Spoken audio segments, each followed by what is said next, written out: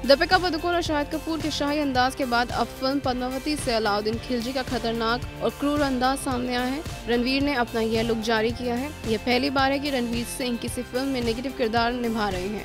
इस लुक के लिए खासतौर पर बढ़ाई गई रणवीर की दाढ़ी भी काफ़ी समय से चर्चा में थी। ऐसे में उनका ये नया लुक देखने के लिए फैंस भी खासे बेताब थे। रणवीर के इस खतरनाक अंदाज को बॉलीवुड सेलिब्रिटीज ने भी काफ़ी पसंद किया है। जरीन खान ने रणवीर की तारीफ़ करते हुए लिखा भूमि पेडनेकर ने रणवीर के लुक की काफ़ी तारीफ़ की और कहा, अर्जुन कपूर ने तारीफ़ की और लिखा। राहुल नंदा ने भी तारीफ़ करते हुए लिखा। निर्देशक संजय भंसाई द्वारा निर्देशित यह फ़िल्म इस साल दिसंबर में सिनेमाघरों में रिलीज़ होगी। आई रिपोर्ट।